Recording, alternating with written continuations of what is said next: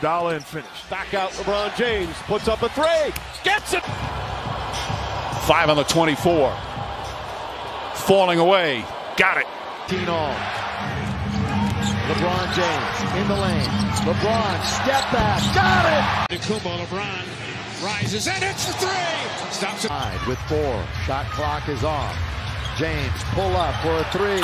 Three on the shot clock.